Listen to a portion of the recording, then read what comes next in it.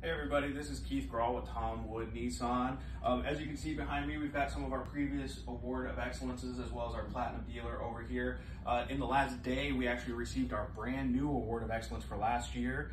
Um, so we haven't opened it up yet. Um, I wanted to show everybody at the same time. As far as it goes, um, here is the box that it arrived in. I'll switch this around so you guys can see it too. The Nissan Award of Excellence.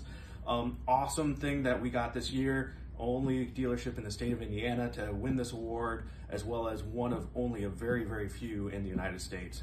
Um, in fact, we've got the full list over here on our wall, and you can see that not that many uh, Nissan dealerships ended up winning the, uh, the Award of Excellence this year. Now, with that being said, let's take a look and let's uh, get into it because I'm excited to see this. All right, so pop up the lid. Got a nice little covering on it. That's awesome. A little protection. All right, nice little letter here. Let's see what the letter says. Dear Nissan retail partner, congratulations on winning the 2023 Award of Excellence.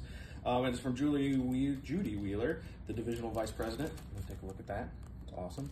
Comes with the little instructions. Oh, it is different than the other ones that we've gotten. So it's like a little crystal thing. I don't know if you guys can see that or not. In the box, it's nicely, nicely sealed in the box. A lot of styrofoam, which is awesome. Nice little crystal award. I'll get my fingers under it. I'll have to clean this later, but that's pretty cool. Nice little thing. And then it's got a little stand for it too.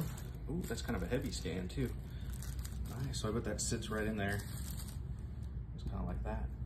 We'll have to seal it in there at some point. That's not bad. That's not bad.